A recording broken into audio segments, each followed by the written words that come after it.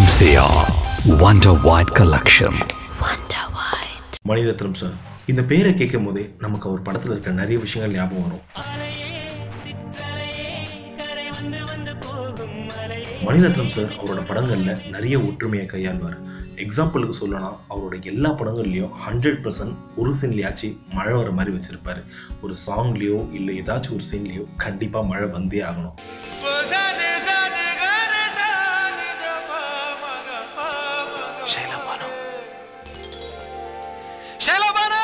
அதே நேரத்தில் ஏதாச்சும் ஒரு ட்ரெயின் சீன் இருக்கும். அதுவும் ரொம்ப பெக்யூலராக இருக்கும். எக்ஸாம்பிளுக்கு உயிரே படத்தில் தைய தையா சாங்காக இருக்கட்டும் இல்லை அலைப்பாய்தி ப்ரொபோசல் சீனை யாரால் அவ்வளோ சீக்கிரமாக இருக்க முடியும்?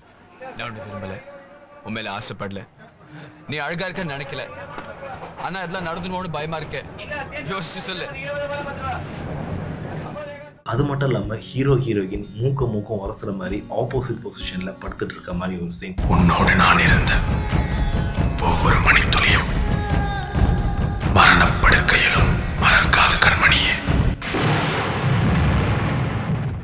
ஃபைனலாக மிரர் ஷாட்ஸ் தான் மணிரத்னம் சாரோட தனித்துவம்னு சொல்லலாம்.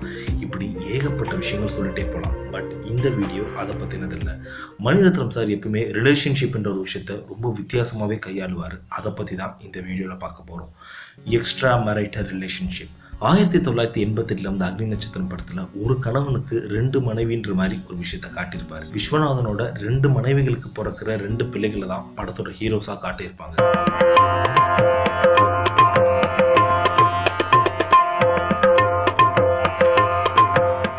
அதே மாதிரி ஆயிரத்தி தொள்ளாயிரத்தி தொண்ணூற்றி ஒன்றில் வந்த தளபதி படத்தில் கல்யாணி கேரக்டர் மூலமாக ஒரு பெண் பதினாலு வயசுலேயே கல்யாணத்துக்கு முன்னாடியே குழந்தை பெற்றுக்கிட்டதாகவும் அந்த பொண்ணால் குழந்தைய வச்சுக்க முடியாமல் அதை ட்ரெயினில் அனுப்பி விடுற மாதிரியும் காமிச்சிருப்பாரு. இன்ஃபேக்ட் கல்யாணி அதுக்கப்புறம் இன்னொரு மேரேஜும் பண்ணிப்பாங்க. அவங்களுக்கு பிறக்கிற குழந்தை தான் அரவிந்த் சாமி.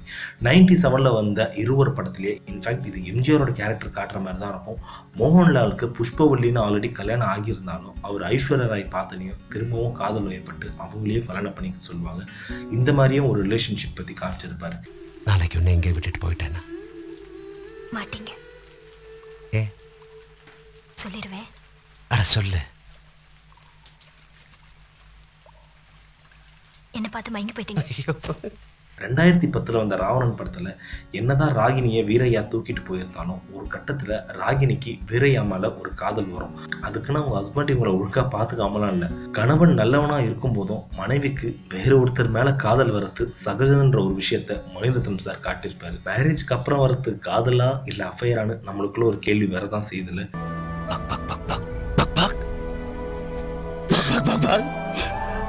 உசிர் வந்துச்சு இன்ஃபேக்ட் கடைசியாக வந்த செக்க சிவந்த வானம் கூட எடுத்துக்கலாமே.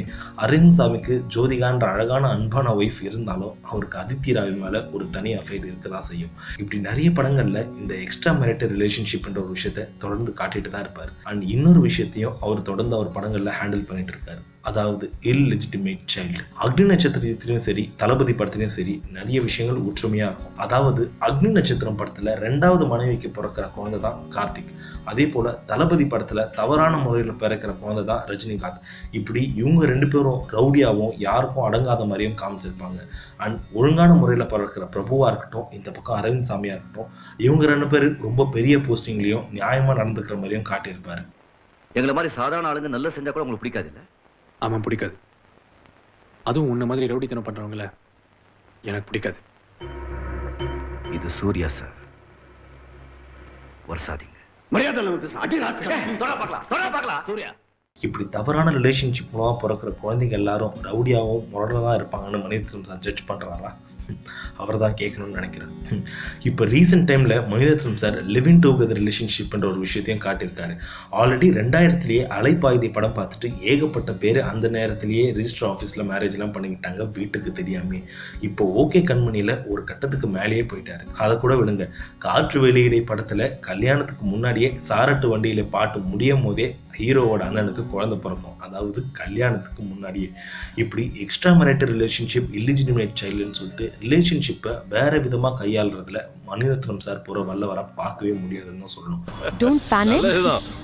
Reaches the hospital. இது மூலமா இவரு சொசைட்டிக்கு ஏதாச்சும் சொல்ல வராரா? இல்லனா இப்படி ரிலேஷன்ஷிப் இருக்கிறதுல பெருசா தப்பு இல்லைன்னு சொல்ல வராரான்னு சொல்லிட்டு மணிரத்னம் சார் தான் கேட்கணும். எது எப்படியோ உலகத்துல எல்லாருமே உத்தமரும் இல்ல உலகத்துல எல்லாருமே நல்லவரும் இல்ல. ஸோ இந்த ரிலேஷன்ஷிப்ன்ற ஒரு விஷயத்த மணிரத்னம் சார் எப்படி ஹேண்டில் பண்ணியிருக்காருன்னு உங்களோட கருத்துக்களை கீழே கமெண்ட் பாக்ஸ்ல போடுங்க. மறக்காம சினி உலகத்தை சப்ஸ்கிரைப் பண்ணுங்க. உன்னோடு நான் இருந்த ஒவ்வொரு மணித்துளியும்